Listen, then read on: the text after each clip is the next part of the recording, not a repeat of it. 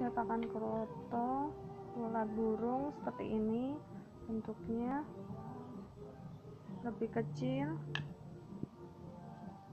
Ukuran 7 kali 7 ada gantungannya seperti ini.